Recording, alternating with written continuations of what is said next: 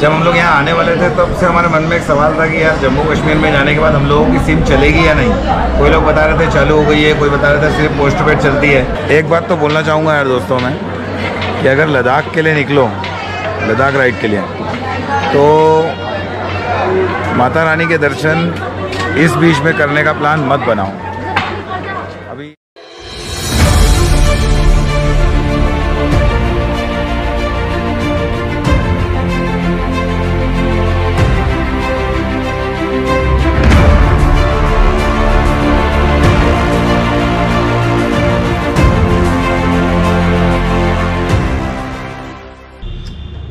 साचे दरबार की जय। तो गुड आफ्टरनून फ्रेंड्स सत श्रीकाल नमस्ते welcome back to my YouTube channel biker Jassi sir और मैं हूँ आपका दोस्त, आपका भाई जसबीर सिंह सलूजा।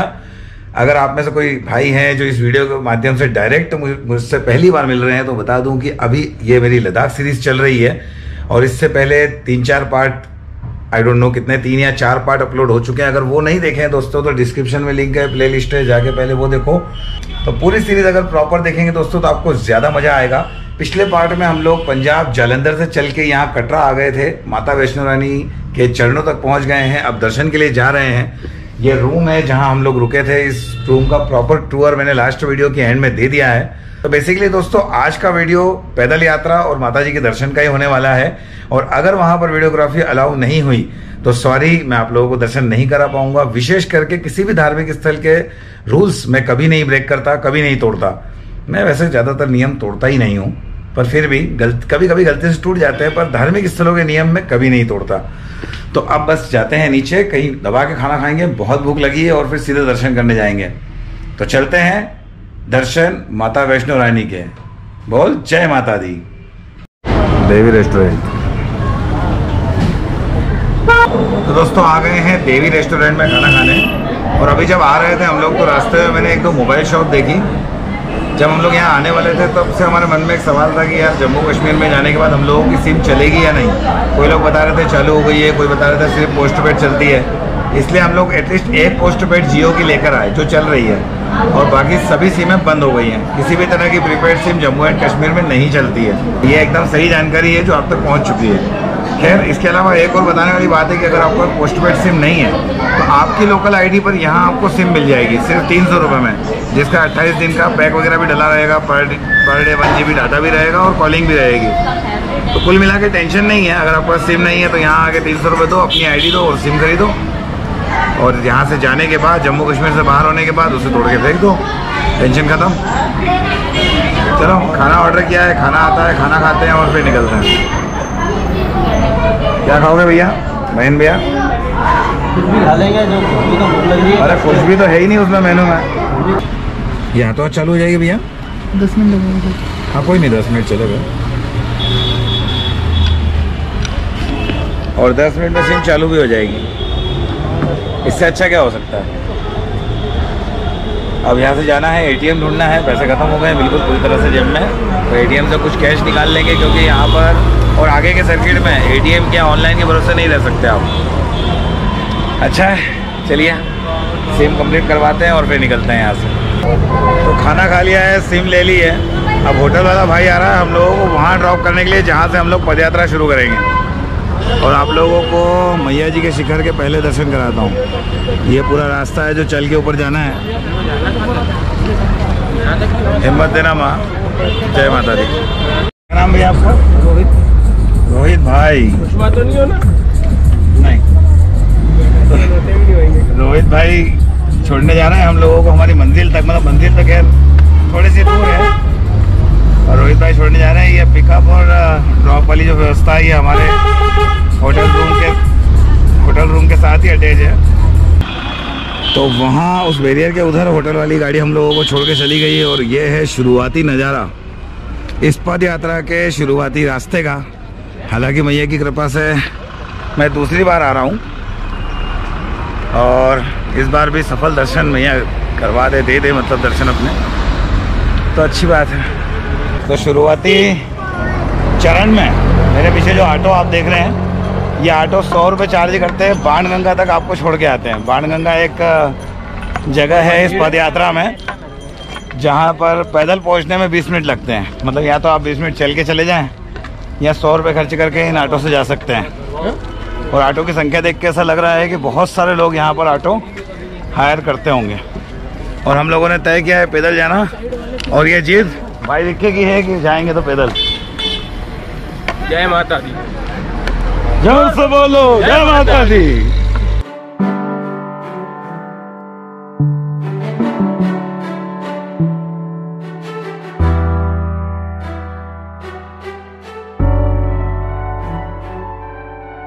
पुरुष सामान सहित पुरुष सामान रहित ये लाइन हमारी है? ये तो बंद है। चलो फिर पुरुष सामान सहित। यहाँ पर ये लाइन लग रही है और वहाँ अंदर मेरे ख्याल से बैगेज वगैरह की चेकिंग होगी। बैग चेक होंगे और शायद तलाशी भी होगी। थोड़ा सा संदिग्ध इलाका है ना, उस हिसाब से। एक किलोमीटर पहले जिस घोड़े के पाँच हज़ार लग रहे थे गेट पार होने के बाद उस घोड़े के दो हज़ार मांगे एक व्यक्ति ने। और उसको थोड़ा सा बोला कि यार देख ले तो वो बोला कि अठारह सौ दे देना भाई साहब। पर हम लोगों ने अठारह सौ भी नहीं देने, इसलिए हम लोग चल पड़े हैं। बोल के? जय माता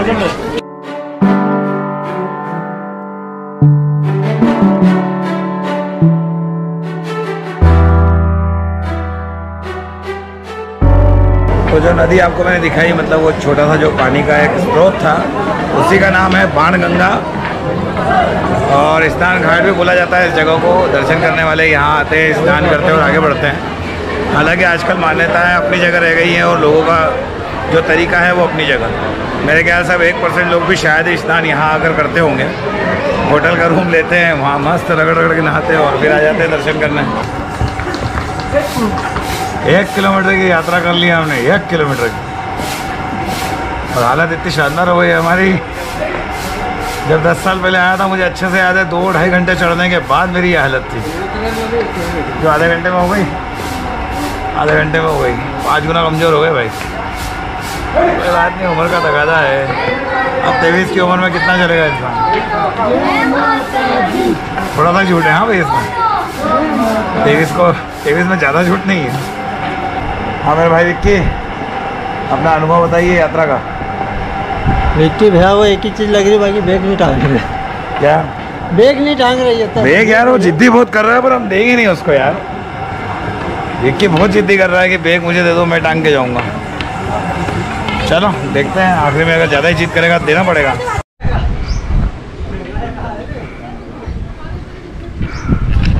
जैसे जैसे ऊपर चढ़ते जा रहे हैं वैसे वैसे नज़ारे और अच्छे होते जा रहे हैं। अभी यहाँ पीछे एक मसाज वाली दुकान देखी हमने। इलेक्ट्रॉनिक मसाज सेंटर है। उससे रेट भी पूछ लिया है। वापसी में लगेगा हमको वो। वो तो टाइमिंग के हिसाब से बीस रुपये तीस रुपये पचास रुपये बजट में है, बजट में चलो, आते समय क्या है, पता कर लिया है। हाँ ये देखो कुछ इस टाइप का आइटम बीस रुपये तीस रुपये पचास रुपये जितनी देर आराम करना चाहेंगे, उतनी देर का पैसा आपको लगेगा। ठीक है? जय माता दी। पूरे रास्ते खाने पीने की दुकानों की भरमार है। कोई पानी कैरी करने की ज़रूरत नहीं है, कुछ खाना वाना कैरी करने की ज़रूरत नहीं है। और ऐसा भी कुछ नहीं है कि कोई बीस रुपए की बोतल यहाँ ला के तीस में बेच रहे हैं। सब नॉर्मल रेट में मिल रहा है। बस आप आ जाओ, चलने की हिम्मत लेकर।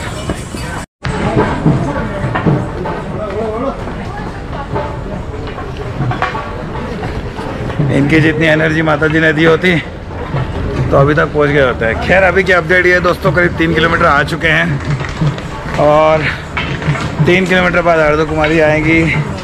अर्ध कुमारी माता जी का मंदिर आएगा।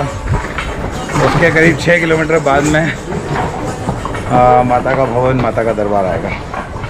मतलब 25 परसेंट रास्ता पार कर चुके हैं।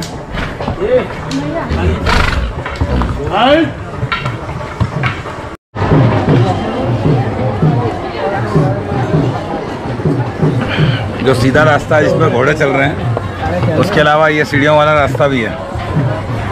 थोड़ी मुश्किल है पर ये शॉर्ट पड़ता है। हमारे साथ दिक्कत ये है थोड़ी सी कि हम शॉर्टकट ले नहीं पाते इस भाई के कारण। पर बहुत बढ़िया विल पावर चाहिए भाई इस हेल्थ के साथ दर्शन की इच्छा रखने के लिए। और भाई दब दब नहीं रहा है घोड़े पे नहीं बैठूँगा पालकी में नहीं जाऊँगा। चल के जाऊँगा। चलो, माता रानी हिम्मत दे भाई, प्रेम से बोलो। जय माता दी तो विक्की भाई ने फाइनली अर्ध कुमारी माता जी तक के लिए घोड़ा बुक कर लिया है। आठ सौ या हज़ार रुपये में बात हो रही है, भाई साहब हज़ार बोल रहे हैं विक्की आठ सौ बोल रहा है। अब ये तो पता लगेगा देते समय कि क्या दे रहे हैं। अर्ध कुमारी से बैटरी वाली गाड़ियाँ शुरू हुई हैं भवन के लिए माता जी के भवन के लिए। और जिसका किराया है दो सौ पच्चीस रुपये पर वो मिलती है नहीं मिलती, इसका कुछ कन्फर्मेशन नहीं है।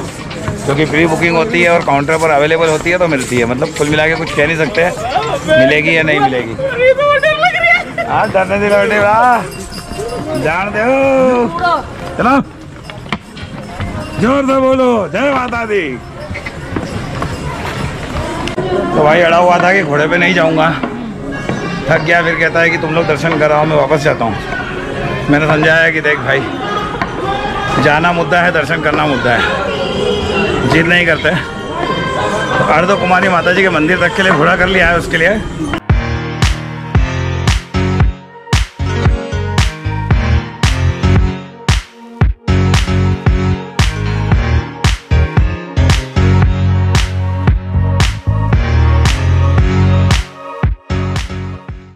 तो दोस्तों अर्ध कुमारी माता जी के मंदिर के बाहर पहुँच गया हूँ मैं। और विक्की भी यहीं कहीं है, पर मिल नहीं रहा। उसको ढूंढना एक टास्क है, क्योंकि पब्लिक बहुत सारी है और हम लोग एक दूसरे को बता नहीं पा रहे कि हम लोग हैं कहाँ पर। हालाँकि हम दोनों के पास मोबाइल है जो चालू है मतलब जिसमें सेम चालू है। चलो। विक्की को ढूंढ लेते हैं, जो इलेक्ट्रिक व्हीकल चलता है, उसकी टिकट का पता करते हैं। और उसके बाद में कोशिश करेंगे कि उस व्हीकल से ही जाएँ, क्योंकि अभी भी माता जी बहुत दूर है। चलो चलते हैं। बोलो जय माता दी तो इससे पहले आपने जिस घोड़े बैठा हुआ देखा था हमारे भाई को वो उसे अर्ध कुमारी माता जी तक छोड़ के चला गया। अब वहाँ से जो बैटरी वाली गाड़ी है वो मिली नहीं। तो एक नया घोड़ा करा है ये हाथी माता तक ले जा रहा है। शायद मैं उच्चारण सही नहीं कर रहा हूँ जगह का तो कमेंट में बता देना। तो वहाँ तक लेके जा रहा है ये। अभी जो दूरी बची है माता जी की भवन की। वो होगी कुछ पाँच किलोमीटर साढ़े चार पाँच जिसमें से दो ढाई किलोमीटर ये लेके जाएगा भाई को। और हम लोग चल रहे हैं। थोड़ा सा विक्की भाई का लेट हो गए अदरवाइज़ अभी तक हम लोग माता रानी के दर्शन कर चुके होते हैं। 2000 years later. मैं बैठा हूँ यहाँ पर। क्यों? कारण बताता हूँ। वो वहाँ पर है सारे लॉकर मतलब ये लॉकर का काउंटर है जहाँ से आपको लॉकर मिलेगा। और ये सारे लॉकर रखे हुए हैं। यहाँ दर्शन का एक रूल है, पर्स, मोबाइल, कैमरा, कुछ भी लेकर आप माता जी के दर्शन करने नहीं जा सकते। बेल्ट वगैरह लाइक दिस सारे आइटम तो यहाँ पर लॉकर है, वो आप लीजिए और अपना सामान उसमें रखिए, वापस आइए, सामान निकालिए और लॉकर की चाबी वहाँ जमा कर दीजिए। और लॉकर बहुत कम है। कम से कम सौ लोगों की लाइन लगी हुई है, लॉकर अवेलेबल नहीं है। तो हम लोगों ने डिसाइड किया है कि मैं यहाँ रुकूँगा, सामान के पास, वो दोनों दर्शन करके आएँगे। फिर उनमें से कोई एक आके यहाँ रुकेगा और मैं दर्शन के लिए जाऊँगा। कुल मिला के ये तय है कि आप लोग दर्शन नहीं कर रहे हैं। मैं दर्शन करके आऊँगा, फिर भैरव दर्शन के लिए जाएँगे। अगर वहाँ अलाउ हुआ तो वहाँ के दर्शन करा पाऊँगा। भैरव दर्शन के लिए भी अभी दो किलोमीटर और ऊपर जाना पड़ेगा। एक बात तो बोलना चाहूँगा यार दोस्तों मैं, कि अगर लद्दाख के लिए निकलो लद्दाख राइड के लिए। तो माता रानी के दर्शन इस बीच में करने का प्लान मत बनाओ। अभी ये 15-16 किलोमीटर हम लोग पैदल चल कर आए हैं, अभी दो किलोमीटर और जाएँगे, फिर ये 17-18 किलोमीटर नीचे उतरेंगे। मुझे नहीं पता सुबह हम लोगों का क्या हाल होगा। कल हम लोग बाइक चलाने की कंडीशन में होंगे, नहीं होंगे, या शायद एक दिन रेस्ट लेना पड़ेगा, मुझे कुछ भी नहीं पता। पर फिर भी मैं ये नहीं बोल रहा हूँ यहाँ आके कोई गलती करी। किस्मत वाले हैं, हम जो हमको मैया ने बुलाया और हम दर्शन करने आए हैं तो लख लख शुक्राना है इस माता रानी का, जिसने मौका दिया है। एक आध दिन अगर बिगड़ता है तो चलता है। पर मान लीजिए कि आपके साथ कोई ऐसा राइडर है, कोई ऐसा टीम मेंबर है, जो इतना स्ट्रेस नहीं झेल सकता और उसकी तबीयत वगैरह ख़राब हो जाती तो बहुत दिक्कत हो जाएगी। खैर, अभी के लिए इतना ही है। अब जा रहा हूँ, वो आएँगे, फिर मैं जाऊँगा दर्शन के लिए। कैमरा वगैरह अलाउ है नहीं। इसके बाद जाऊँगा भैरव दर्शन के लिए, अगर वहाँ पर अलाउ हुआ तो ओके। नहीं तो जय माता दी जो भी होगा आपको वीडियो में बता दूँगा मैं। अभी के लिए इतना ही। मिलते हैं थोड़ी देर में। तो दोस्तों, अभी जो देखा आपने कि भाई लोग लाइन में लगे थे और गए। वो लोग वापस आए 11 बजे रात को। बहुत ज़्यादा भीड़ होने के कारण। उसके बाद में फिर मैं और एक और भाई साहब यहाँ अकेले आए हुए थे, हम दोनों गए। और अभी बारह बजकर दस मिनट पर हम लोग दर्शन करके वापस आए रात की बारह बज के दस मिनट पर। तो अब जा रहे हैं यहाँ से नीचे रूम पर। देखें कितनी देर में पहुँचते हैं, एक घंटा, दो घंटा, जो भी। रूम पर पहुँचते हैं। फिर आपसे बात हुई तो ठीक, नहीं तो सुबह बात होगी वीडियो को सुबह एंड करेंगे। थोड़ी सी बात करेंगे आज की हमारे दर्शन वाली इस यात्रा के बारे में, और फिर वीडियो को एंड करेंगे। शायद रूम पर पहुँच या शायद सुबह। आपको तो पता चल जाएगा एक सेकेंड में। और वो एक सेकेंड ये रहा। तो दोस्तों सुबह साढ़े तीन चार बजे हम लोग पहुँचे रूम पे। आ, मतलब सब कुछ ठीक था पूरे रास्ते बढ़िया था मैं पर फिर एंड टाइम पे मेरा घुटना दर्द करने लगा। वो वाला नहीं जिसमें प्रॉब्लम है दूसरा वाला। शायद चढ़ने उतरने में कोई मोच वगैरह आ गई मेरे घुटने में आई डोंट नो बिल्कुल छोटे बच्चों की तरह एक एक पेड़ी उतर के आया हूँ मैं। अगर ये नहीं हुआ होता शायद एक डेढ़ घंटे पहले हम लोग रूम पे आ जाते। खैर जो भी, साढ़े तीन, चार बजे हम लोग रूम पर आ गए और आते ही तुरंत सो गए। आज हमारा श्रीनगर जाने का प्लान है। तो कल रात को ये सोचा कि यार अब सुबह उठेंगे और सोचेंगे कि भैया जाना है या रेस्ट करना है। पर मैं उठा अभी ग्यारह बजे, बारह बजे हमारा चेकआउट टाइमिंग है होटल का। तो ग्यारह बजे उठा और उठ के मैंने महेंद्र से पूछा, विक्की से पूछा, बोले हाँ बिल्कुल चल सकते हैं भाई, चलो। यहाँ से दो सौ पैंसठ किलोमीटर है। रास्ता थोड़ा अच्छा बुरा भी मिला तो हार्डली सात घंटे में हम लोग पहुँच जाएँगे। सात, आठ घंटे में। बाकी वाहिगुरु माली के देखो नज़ारे लेते हुए, फ़ोटो खींचते हुए, वीडियो बनाते हुए कितनी देर में पहुँचते हैं। खैर, ये जो हमारा पार्ट था लद्दाख सीरीज़ का, ये वाला पार्ट जिसमें माता जी के दर्शन करने हम लोग ऊपर गए थे, ये यहीं पर ख़त्म होने जा रहा है। इसके पहले के पार्ट यदि आपने नहीं देखे हों तो मेरी रिक्वेस्ट है कि आप वो देख ले, अगला पार्ट आने के पहले, ताकि आपको सीरीज़ जो है वो देखने में मज़ा आए। साथ ही आप मुझे इंस्टाग्राम पर फॉलो कर लें, जिससे कि मेरी राइड्स की डे टू डे अपडेट आपको मिलती रहे।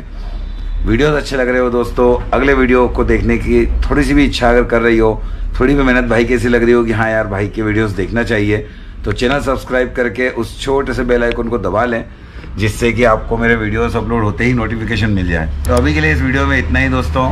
गुड बाय सत नमस्कार, रब रखा।